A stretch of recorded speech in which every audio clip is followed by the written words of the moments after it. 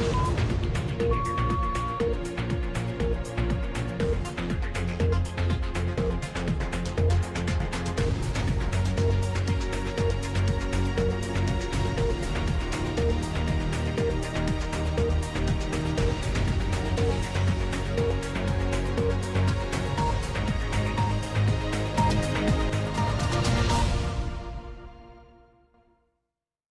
Онцгой байдлын ерхий газраас бэлтгэн үргэдэг онцгой байдлын цаг нэвтрүүлгийн энэ удаагийн дугаар Төв аймгийн онцгой байдлын газар болон Галт төмөр унтрах 24 дугаар ангиас хүрч байна.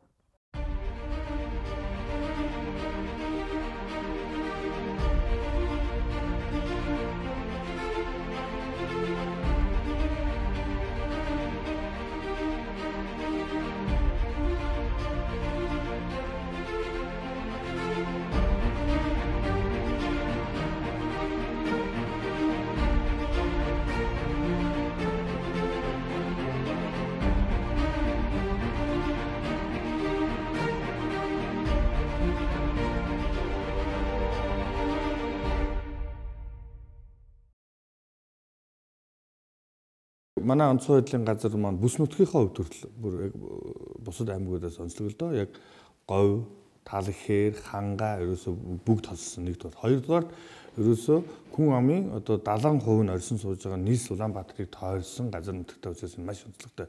Яг гэвэл нийслэл хот руу орж байгаа дөрвөн зүг 8 зогсоос орж байгаа бүх зам харгу бүх одоо үйл ажиллагаа манай Төв аймгийн нутаг дэвсгэрээс өнгөрч одоо явуулдаг учраас энэ одоо манай Төв аймгийн онцгой байдлын газрын онцлог мөн тэр хийж байгаа ажил тэр гарч байгаа амшиг бас аюулт үзэгдэл одоо тэр бүхэл юмнууд маш онцлог л доо. 27 сумын маань 14 нь ой хоёрын төмөр гарах эрсдэлтэй борнуур жаргалан тэгээд хойд лидийн сумд маань хуваарь алт толборлдог бичлэг урхаа эрхлэгчтэй олонтой тэгээд бичлэг урхаа нуран гарна а зөглөх дуудлага маань болохоор одоогийн байдлаар малын гоцоолууд үчин их гарч байна. Зам тээврийн осол хөл хөдөлгөөн их байдаг учраас аа тэгээд усны осол төөрч алга болох эрдийн дуудлага зохилдог таа.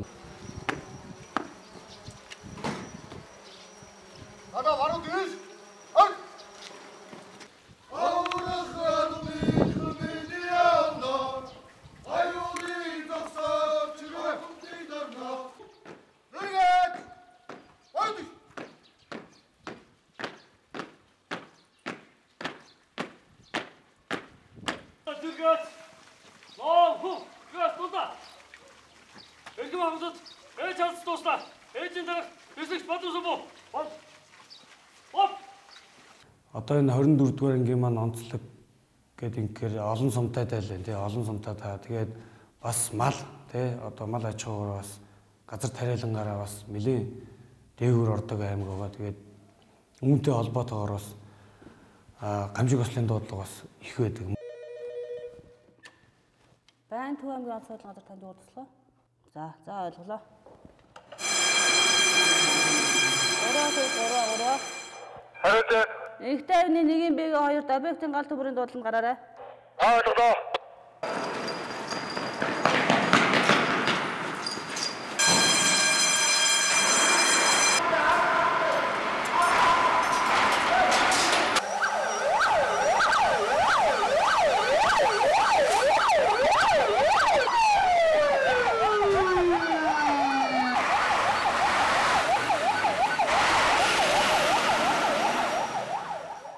Дуудлагуулаа өгч гэдэг хүний хийж байгаа ажлаар бүх албаны маань ажил хэмжигддэг учраас би тэдээр хамгийн анхны дуудлага дамжиж орж хамгийн анхны мэдээлэл дамжиж орж идэг учраас маш их хариуцлагатай ажиллах шаардлагатай байдаг. Аврагч маань ерөөсөө чадварлаг байж иж хурдан сэтгэх чадвартай байж иж ер нь энэ аврагчийн ажлыг хийнэ. Байнгын цаг агарын хүнд хүндрэлтэй нөхцөлд мөн одоо энэ ой хээрийн түүмэр гэх мэтчлээ урт хугацаагаар үүрэг гүйцэтгэж байдаг учраас янз бүрийн юм үзэж харна энэ бүхнийг бол сэтгэл зүйн хувьд бол даван тулж авах чадвартай байх хэрэгтэй. Гамшиг бол одоо хилж ирэхгүй одоо хийж ирдэг. Тэгээд тухайн гамшигт бэлэн байхын тулд бол энэ албаагчд бол өргөсөн дангахтаа өмнө одоо зүтгэж явж байгаа. За бидний ерөөсө бахархал бол ерөөсө дуудлага альва дуудлаганд гараад тэрүүнийгээ амжилттай үүргээ гүйцэтгэж буцаж явах л хамгийн бахархалтай үйл явдал тэр дээр.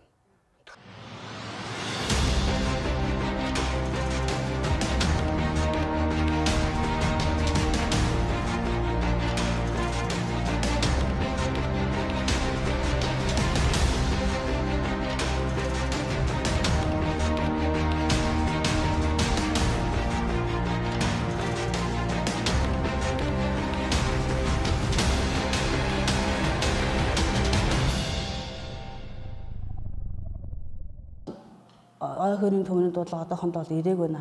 Тий хуур ажиллагаагүй байна. Тэгээ урьдчилан сэргийлэх ажиллагаа маш их хийж байгаа.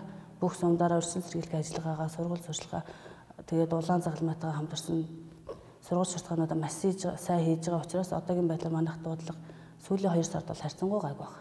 За манай сайн сайн дурын бүлэг нь болохоор 26 бүлгийн хүний бүрэлдэхүүнтэй 2017 оны 11 сарын 26-нд гамшигын үед бэлэн бай гэсэн сайн дурын идэвхтнэр бэлтгэгчид төгссөн.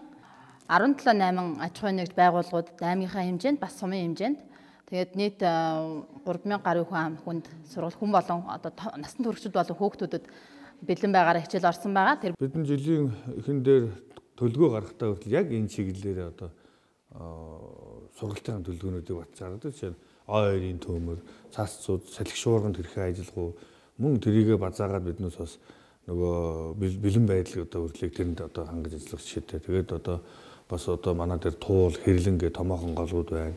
А мөн одоо манай Эрдэнэ сумын төдөөс байгалийн үзэсгэлэнт газруудаар хагийн хаар нуурын нэг маш том гол мөрөнд байдаг учраас энэ онцлогтой тохиолдолд бид сургалтаа бас одоо энэргүй чиглүүлж явуулдаг.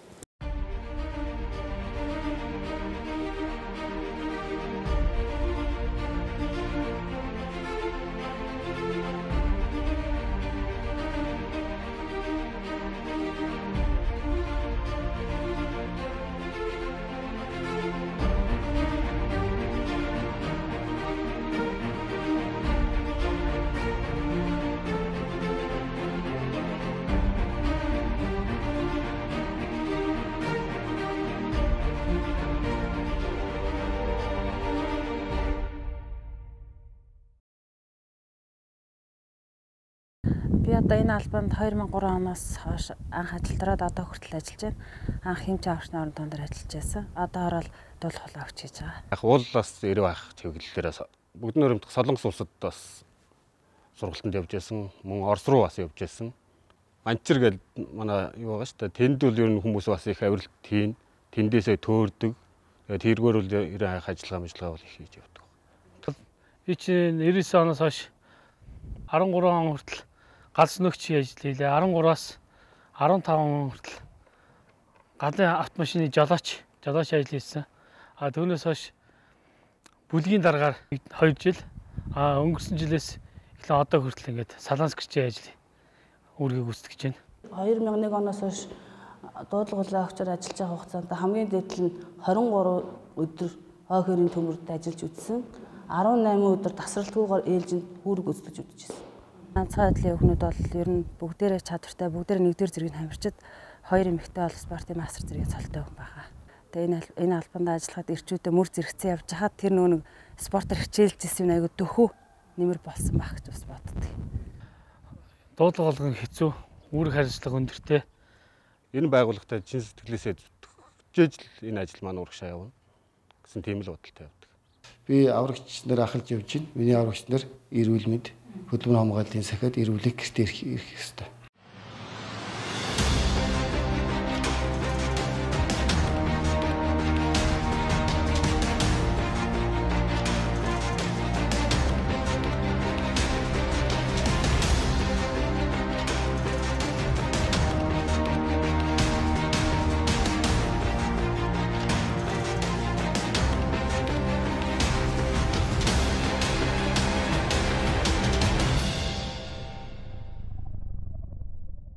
Манай багаж хэрэгсэлчин бүгдээрээ л аюулгүй байдлыг хангасан багаж хэрэгсэл байгаа учраас аюулгүй байдлын зааварчилгаа зөвлөмж цаг тухай бүрд нөгөөд тэгээд дуудлагандаа явдаг. Тэгээд багаж хэрэгслээ яаж харьцах уу гэдгийг 7 хоног болгон өөрсөнд нь сургалтаар орчдөг ордог байгаа. За одоо техник хэрэгсэл байна. Тоног төхөөрөмж гэх техник хэрэгсэл төр бол манайх 13 төрлийн техник хэрэгсэлтэй ажиллаж байна. Тэгээд тэр дундаа салбар 90 ах аврах салбарын тэрэг байна. Гал унтраахын автомашин 3 автомашин байна.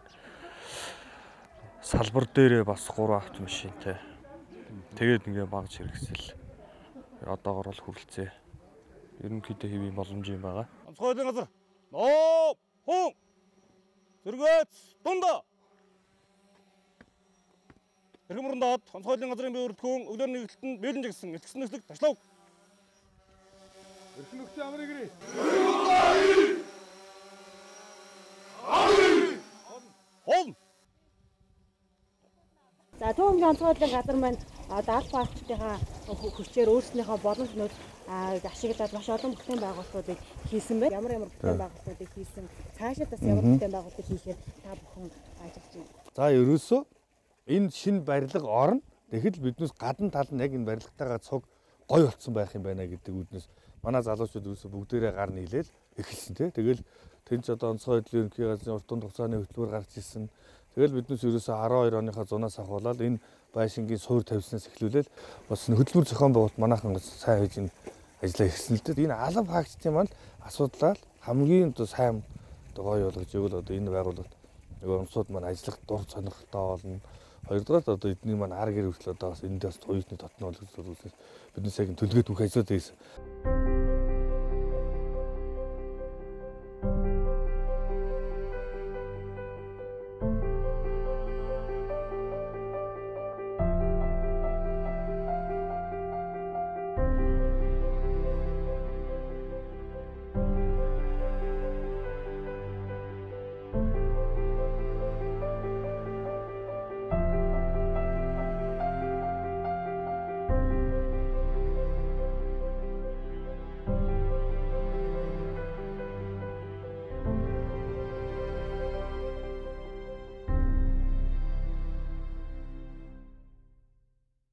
А манай хамт олон бол маш их бүтээлч, аюул чадварлаг, тэгээд найрсаг, биеиндээ маш сайн тусалж ажилладаг. Тиймдийнхаа тулд бид хэд засгийн газрын урт тунд хугацааны хөтөлбөрийн хүрээнд байгууллагаараа аль фаагчтай дэмжиж бид нэр 12 хайлын орон сууцнд өөрсдөө барьж хамрагдсан байгаа. Би өөрөө хүртэлтэнд хамрагдаж орсон байгаа. нөөц болцоог ашиглаад бас шип сумтайгаа ярьж хагаад Эрдэнэ сумаас яг зохих зөвшөөрж ормынхын дагуу модныхын ойрхон цэвэрлэгээ хийгээд дахиж одоо мод тариа тэгээд бас 25 айл бас тэр 13 онд бас услангийн сууцтай болж байсан. Тэгээ маш хямдхан өртгөр. Тэгээ биднээс яг одоо ер нь жил болгоно нэг зорилт том тийм бүтээж ажил хийсэн төлөвлөгөөтэй байдаг байхгүй тий. Хүний амьдралынхаа одоо юу гэдэг 40 жилийнхэн 60 үеинд байна гэдэг чинь л одоо 25 6 жил энэ дээр л одоо байнга байж гэсэн. Тийм учраас энэ очноогоо болох хэрэгтэй.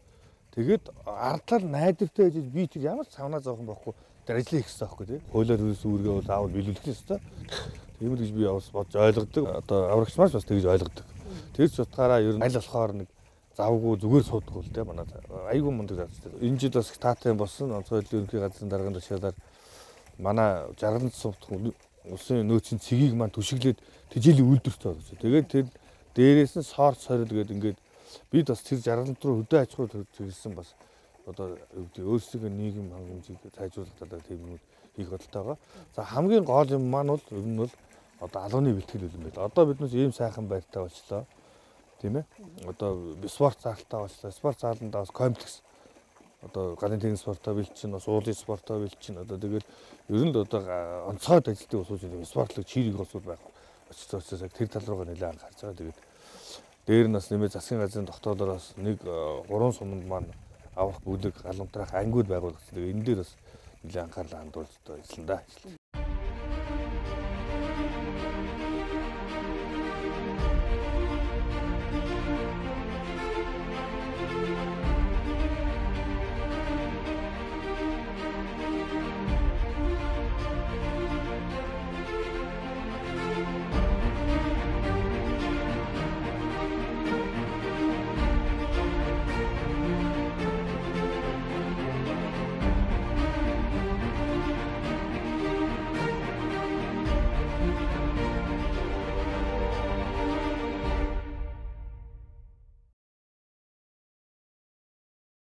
Онцгой байдлын цаг нэвтрүүлгийн ээлж дугаараа та бүхэндээ хүргэлээ. Энэ удаагийн дугаартаа Төв аймгийн онцгой байдлын газар болон Галтүмөр унтраах аврах 24 дугаар ангийн үйл ажиллагаатай та бүхнийг танилцууллаа. Дараагийн дугаар хүртэл баяртай үзэгчтэй.